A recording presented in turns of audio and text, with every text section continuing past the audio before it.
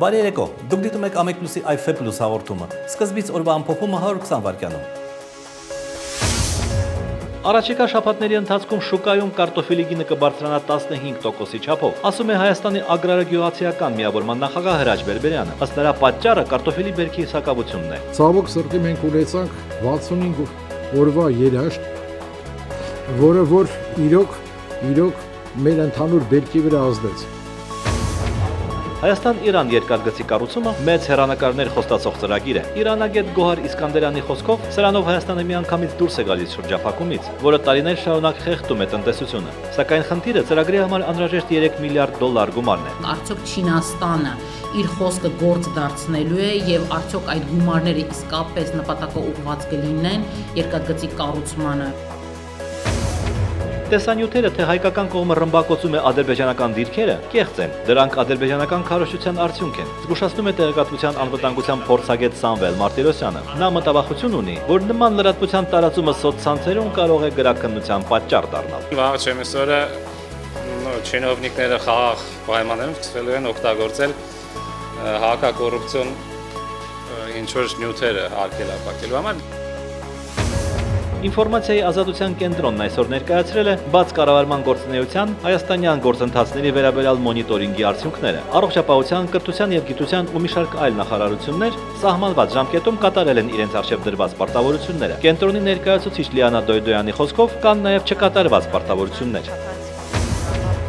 Վերաքննիչ քրեական դատարանում դեռ չսկսված ավարտվեց ակտիվիստ Նարեկ Հակոբյանի գործով դատական նիստը։ Չեր ներկայացել գործով դատախազ Ռոլանդ Հայրապետյանը, թեև պատշաճ ծանուցվել էր։ 6 ամսվա ազատազրկման դատապարտված Նարեկ Հակոբյանի պաշտպան Թամարա Բաղդասարյանը պնդում է, որ իր պաշտպանյալը անմեղ է։ Վկաների ցուցմունքները, որոնք դրվել են նաև մեղադրական դատական ակտի հիմքում, մենք գտնում ենք, որ վերջիններս արժանահավատ չեն առնվազն։ Սահմանադրական փոփոխությունների նախագծի վերաբերյալ իր կարծիքն է այսօր արտահայտել Հայաստանի երկրորդ նախագահ Ռոբերտ Քոչարյանը։ Հրապարակված նախագիծը գերազանցեց իմ վատագույն սպասելիքները։ Խոսքն արդեն պետության կառավարման կիսանախագահական եւ խորհրդանական ձևերի միջև ընտրության մասին չէ։ Սահմանադրության նախագիծը իր մեջ էական ռիսկեր է պարունակում, որ երկիրը կգլորվի դեպի դեֆակտո միակուսակցական համակարգ, այսինքն եւ դեպի քաղաքական մենաշնոր ու լճացում ասել է իր ժողովրդավարական գործելակերպով հայտնի Ռոբերտ Քոչարյանը։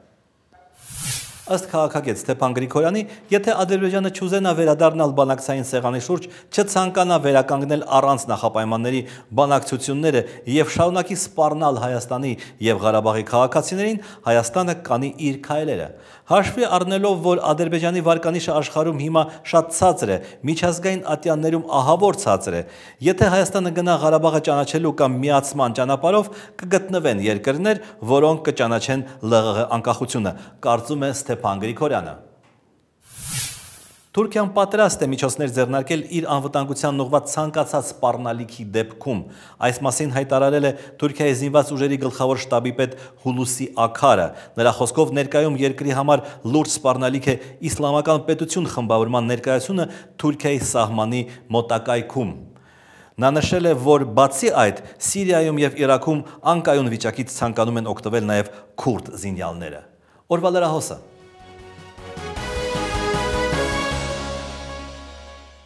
Էդուարդ Շարմազանովը չի կարող ասել, թե ինչ սև կատու է անցել իր բարերով հարգարժան երկրորդ նախագահի եւ Սերժ Սարգսյանի միջև։ Ես սև կատու չեմ տեսել։ Սահմանադրական փոփոխությունները երկրի համար կործանարար համարող Ռոբերտ Քոչարյանի մի հարցանի հարցազրույցում պարոն Շարմազանովը տեսել է լիքը վերամբարձ բառեր։ Չարիք, լճացման աղբյուր, վերարտադրման համակարգ։ Խորհրդարանի փոխոսնակը տարօրինակ է համարում Քոչարյանի այն միտքը, որ գործող սահմանադրությանը պետք չէ ձեռք տալ, որովհետև ձեռք տալու դեպքում վերարտադրվում է գործող արատավոր համակարգը։ Եթե իրոք համակարգը արատավոր է եւ այդ համակարգը պետք է վերարտադրվի, ապա ոչինչ չփոխելով Ինչպես պետք է մենք պայքարենք այդ արատավոր համակարգի վերարտադրման դեմ։ Փոխոսնակին փոխանցեցին, որ Քոչարյանը կրկին նախագահ դառնալու դարդը չի լացում, նա կարող է ազգային ժողովի ընտրություններին մասնակցել կուսակցական ցուցակով։ Իր իրավունքն է, ուզում է մասնակցել, մեջ մասնակցի։ Հարցազրույցում Ռոբերտ Քոչարյանն ասում է, որ նոր համադրությունն օրինականացնում է քաղաքական մենաշնորը։ Հակոբ Հակոբյանը ոչ մի վատ բան չի տեսնում, որ այդ մենաշնորը դարձել է համանդրական նորմ։ Քաղաքական մենաշնոր կակտակավա գոյություն չունի։ Քաղաքական մենաշնորը տալիս է ժողովուրդը։ Քոչարյանը նաև նկատել է, որ նոր համադրությամբ երկիր խնդիրը կգլորվի դեֆակտո միակուսակցական կառավարում, այստեղ էլ պարոն Հակոբյանը համաձայն չէ։ Կան հաղթող թիմ, հաղթողների գաղափարն է։ Յուրաքանչյուր падգամավոր իր ընտրատարածքում կամ իր հասանելիք ձայներով հաղթելով նա པարզ կարողանում է տեղում, տեղում ցույցնալ դիմադրություն, ինչով որովհետև բոլորը տեսել են նրա ընտրական մեխանիզմը։ Աղվան Վարդանյանը շատ է հարգում Ռոբերտ Քոչարյանին, բայց նրա հետ համաձայն չէ, թե պետք գուցե միակուսակցական համակարգի մասով նրա ասացներում ճշմարտություն կա։ Գուցե կան ինչ որ նման նշաններ։ Հիմա իհարկե դրա ժամանակներն անցել են, լավ ընտրական օրենսգիրք է պետք եւ կբացառվի նաեւ հանրապետականների միահեծան հաղթանակը առաջիկա խորհրդարանական ընտրություններում։ Այսօրվա parlamentum 3/5-րդ օպտին տրվի ընտրական օրենսգիրք Հանրապետական կուսակցությունը ունի 3-5-րդ ձայներ այսօր։ Սակայն վաղը հանրապետականը կարող է ունենալ այդ ձայները, ով է նրան խանգարելու ազգային ժողովի ընտրություններում։ Շմ չորտնիշուտի։ Երբ ազգային ժողովի ամբյոնից խոսում են տնտեսության դրամավարկային քաղաքականության մասին, հայազգային կոնգրեսի падգամավոր Նիկոլ Փաշինյանի մոտ հարց է առաջանում։ Իա, իրոք,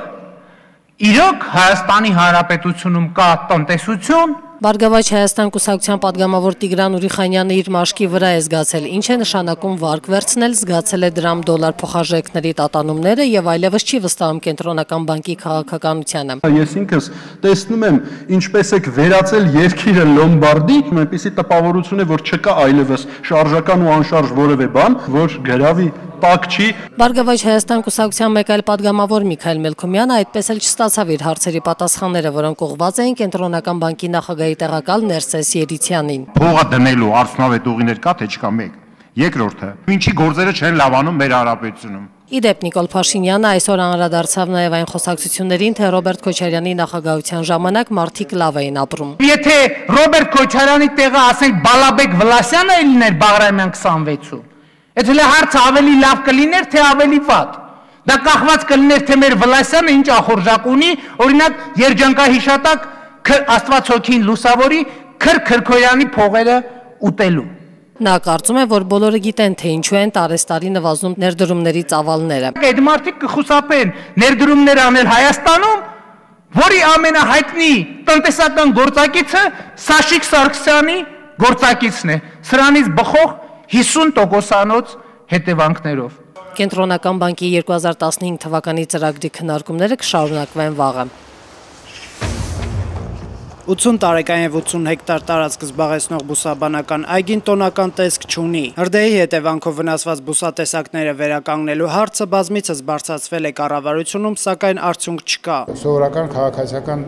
ուրեմն երկու պահակներով անհնար է այդ տարածք պայել, առավելևս ամառային հրդեհավտանգ վիճակում Ռոռոկման համակարգը քայքայված է, հնացած է, առավելևս այդ ռոռոկման ջուրն էլ սահմանափակ է։ Ուսանողական տարիներից բուսաբանական այգում աշխատող տնօրենը բազմաթիվ դեպքեր է հիշում, երբ փորձել են տիրանալ այգու այս կամ այն հատվածին։ Սակայն հերքում է խոսակցությունները, թե հնարավոր է տարածքը միտումնավոր հրդեհում են, այնտեղ հետագայում շինություն կառուցելու նպատակով։ Ժողովուրդը ուղղակի ենթադրում է, քանի որ քաղաքում մնացած միակ այդպես հզոր այդպես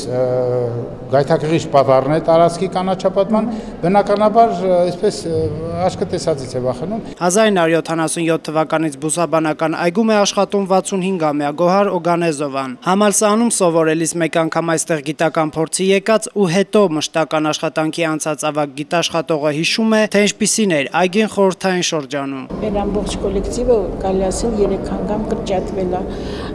եւ բանվորական կազմը շատ մեծ էր եւ ջուրներ բավարար։ Եղած խնդիրներն անցողիկ են, ասում է Տիկին Օգանեզովան։ Իրեն այլ բան է անհանգստացնում։ Մարդիկ, որոնք գալիս են մեր այգի, իրանք խնամք գաղափարը իրանց համար չկա։ Իրանք համարում են, որ եկել են ինչ որ մի իրանց համար վայրի տեղ։ Հասկանում եք, եւ ինչ ուզում են անում են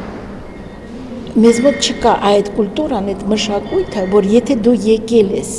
ընդհանրապես բնություն, ես չեմ ասում բուսաբանականն, դու պետք է զգուշ լինես։ Բայց ի տարբերություն միջին եւ բարձր տարիքի քաղաքացիների այգու բուսատեսակների նկատմամբ հոգատարությամբ աչք են ընկնում դպրոցահասակ երեխաները։ Շատ հյուրասեր, ընկերասեր դրական էներգիայով ժողովուրդ եք, ունեք հիանալի խոհանոց եւ ճարտարապետություն, իսկ ամենազարմանալին թերևս ձեր աշխատասիրությունն է, քանի որ ամեն երկրում չես տեսնի շաբաթ կիրակի օրերն աշխատող մարդկանց։ Սա հայֆեստի մասնակիցների զգացողությունն է Հայաստանի ու հայերի մասին։ Իսկ Մոսկվայի անկախ թատերական ընկերության տնօրեն Ալեքսեյ Բաղդասարովին խոսքերը չեն բավարարում իր զգացողությունը արտահայտելու։ Ես սուբյեկտիվ եմ, քանի որ հայրս հայ է։ Ես էլ երրորդ անգամ եմ Հայաստանում եւ ամեն անգամ այստեղ եմ образованным им Мне просто здесь все нравится. Я без слез здесь жить не могу. Я хожу и плачу.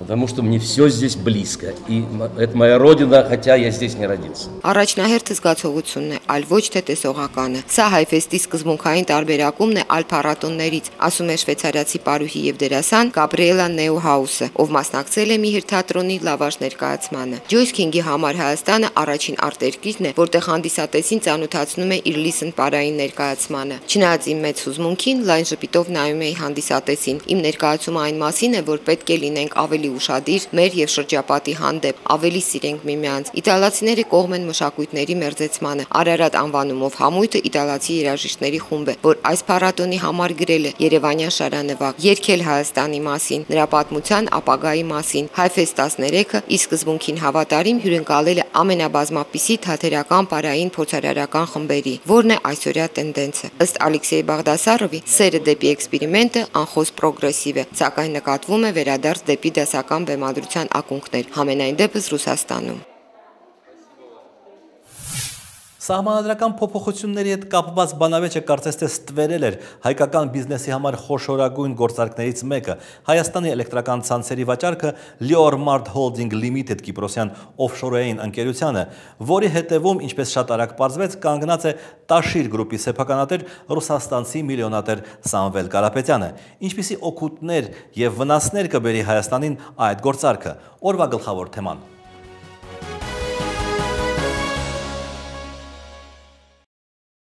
Հետցի սեփականատիրոջ փոփոխությունը Հայաստանի էներգետիկ ոլորտում ոչինչ չի փոխի նոր սեփականատերը Տաշիր գրուպը դժվար թե հրաժարվի գերշահույթից, որպիսի գոհացնի սպառողին։ Հետցը դա կազմակերպություն է, որը մոտավոր հաշվարկով ամսական 5-ից 7-8 միլիարդ դրամի հաստատի շահութաբերություն է ապահովում։ Խոսքը նաև այն կեղտոտ շահույթի մասին է, որը հեծում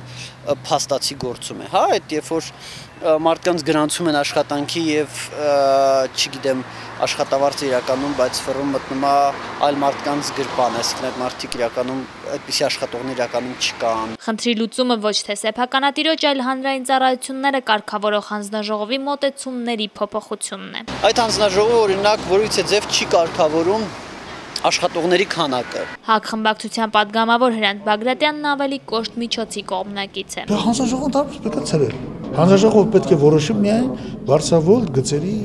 տեղափոխման ինքնարժեքը։ Հետ խորհրդային մյուս երկրների համեմատմեր էներգետիկ ոլորտը բազմաթիվ առավելություններ ունի։ Հայաստանն ինքն է արտադրում էլեկտրաէներգիա, ինչը սակայն չի արտացոլվում հոսանքի գնի վրա։ Ամբողջ ԱՊՀ տարածքում Հայաստանում ամենաբարձր էլեկտրաէներգիան է։ Հայաստանում էլեկտրակայանի միջին սակագինը երկու անգամ ավելի բարձր է, քան ԵՏՄ-ի միջինը։ Սա այն ամենով հանդերձ, որ մենք ունենք ատոմակայան, ընդ որում ատոմակային էներգիայի տեսակարգը շռով մենք յետխորթային տարածքում զիջում ենք միայն Ուկրաինային։ Էլեկտրակայանի սակագնի կարգավորման համար ազգային ժողովի падգամավոր Հրանտ Բագրատյանը այլ մեխանիզմ է պատկերացնում։ Էլեկտրակայանի գինը պետք է փոխվի ամեն օր հասկանալի։ Հետո կտեսնենք, որ լնում են օրեր, ժամանակներ կամ երկու շաբաթը մեկ կամ ամիսը մեկ որ գինը հիշնում է, հետո բարձրանում է։ Ոնց որ հացի գինն է, ոնց որ կարտոֆիլի գինն է։ Իսկ ինչ փոփոխություն են ակնկալում հետցի սեփականատիրոջ փոփոխությունից մեր համակարգացիները։ Ես անձամբ Սամվել Կարապետյանին շատ մեծ հարգանքով ու հույսով եմ վերաբերվում, այնպես որ կարծում եմ, եթե նրա ձեռքը անցնի, ամեն ինչ կաշխատի։ Ես կարծում եմ ոչ մի դրական արդյունք չի բերի։ Մեր կառավարությունը այն վիճակի է հասցրել մեր բիզնեսմեններին, որոնք գալով աշխատելով մի բան ստեղծելով թողնում հեռանում են Հայաստանից։ Սամվելին էլ կեղտոտենք հեռացնեն Հայաստանից։ Հիշեցնենք, որ վարչապետ Հովիկ Աբ รา համյանը հայտարարել է, որ Հայաստանի կառավարությունն է դիմել գործարար Սամվել Կարապետյանին, որպեսզի նա ձեռք բերի հեցի 100% բաժնետոմսերը։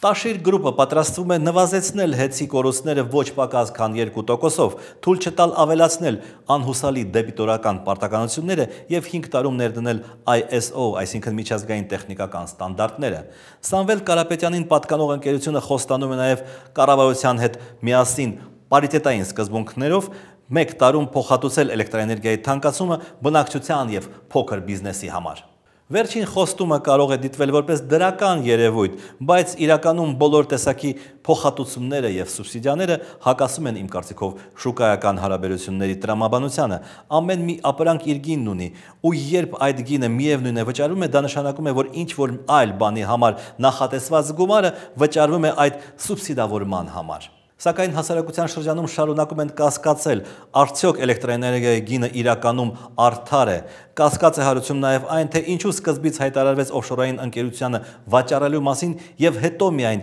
ի հայտ եկավ Տաշիր գրուպը։ Հարց է հնչում նաև ինչ փոխհատուցում է ստանալու ինքը Սամվել Կարապետյանը ավերված եւ խոշոր պարտքեր ունեցող ընկերությունը գնելու դիմաց։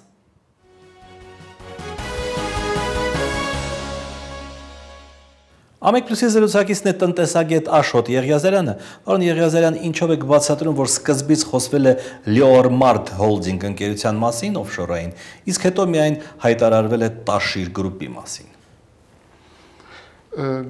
Ես կարծում եմ, որ որոշակի հարցեր երևի թե լուծված չեն եղել եւ կարիք են ունեցել լրացուցիչ ճշգրտման,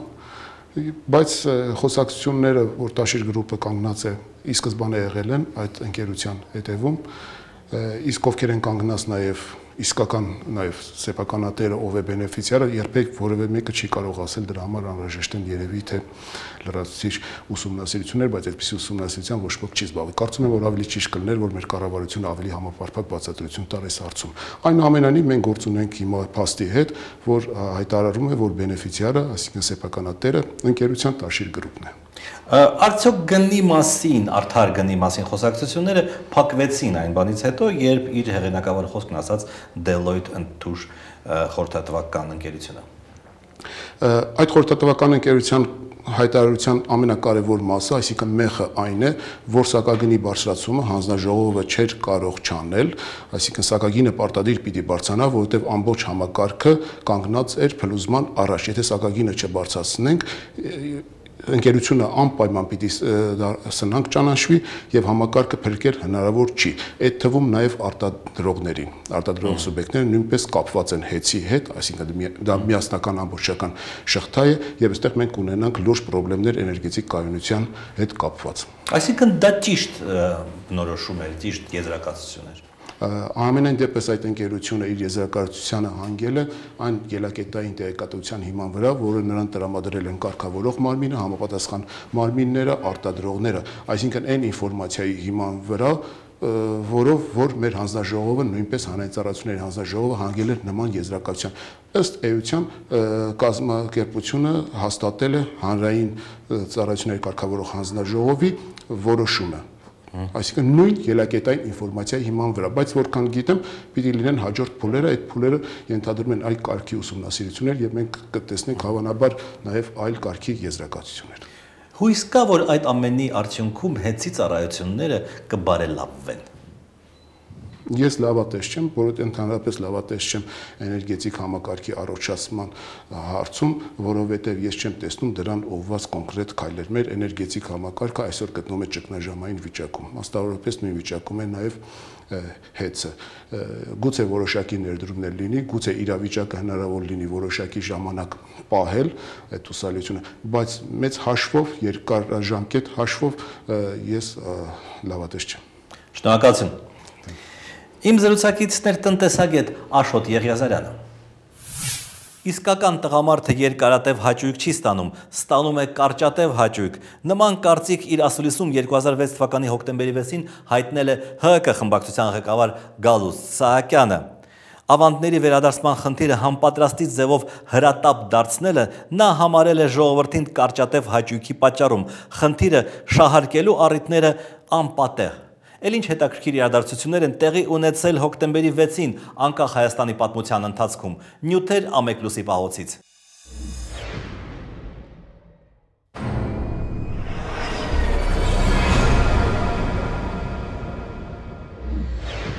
1997-ի հոկտեմբերի 6-ին Հայաստանում առաջին անգամ շուրջօրյա հեռարձակում է սկսում Ամեկ Պլյուս հեռուստաընկերությունը։ Սա բացառիկ դեպք է նույնիսկ Անդրկովկասի տարածքում։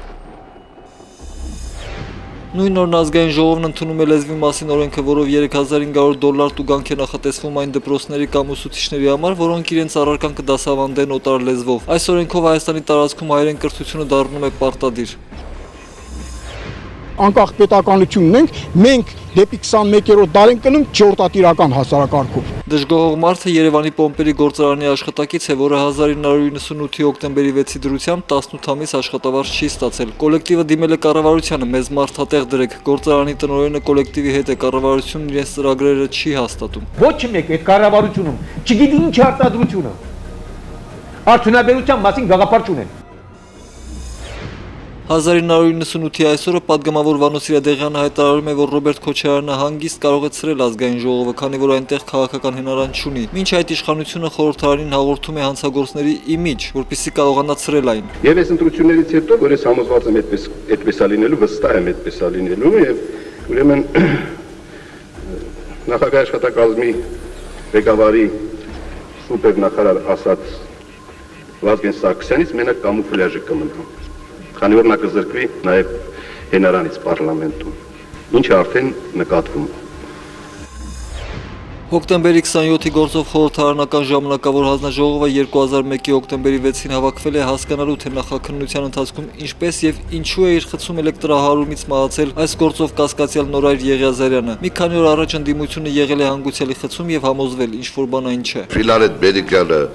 ակրոբատիկ շարժումներով ուզում էր փորձել ապացուցել, որ հնարավոր է, այն չստացվեց։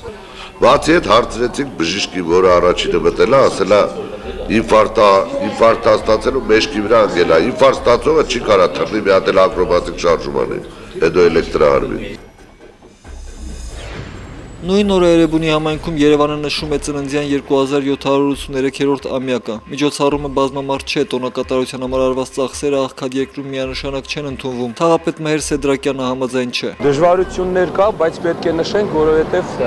մեր երևանցիներից հասիվի հարցը է։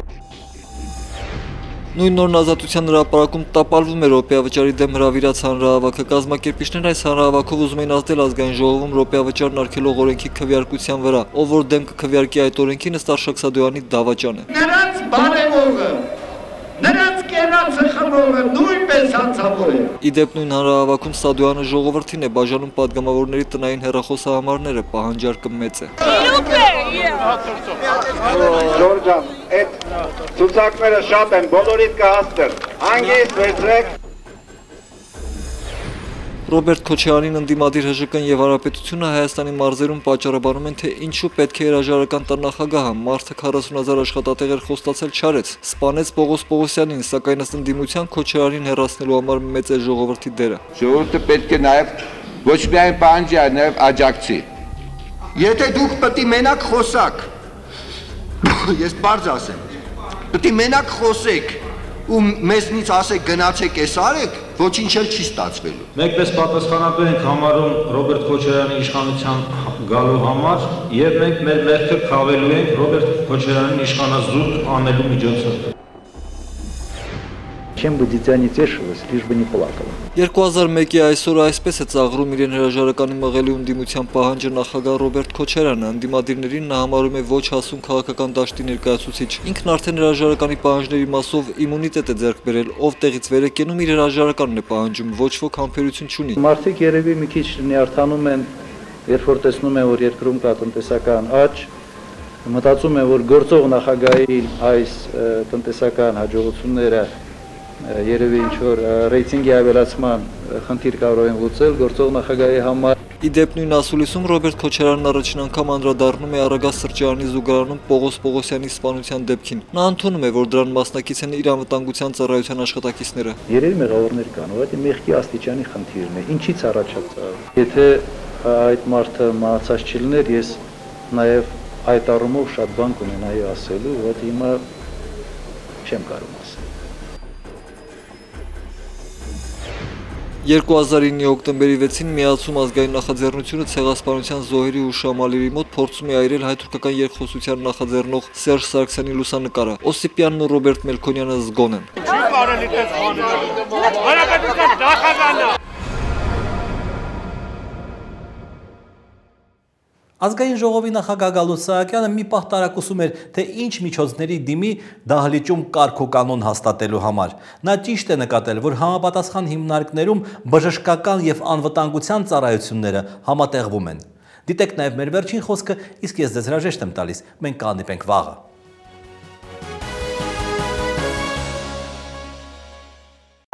Այ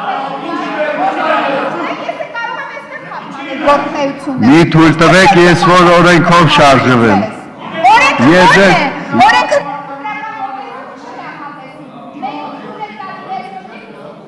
Ես հիմա չգիտեմ անվտանգությանը կանչեմ, թե շտապ օգնությանը։ Ես հասկանում եմ ձեզ։ Դուք չեք հավատում ինձ։ Կարող եմ տեսնել դատախազին։ Կարող եք։ Որտեղ է մեր դատախազը։ Δεν ξέρω τι είναι ακόμα, να απολιώνεις.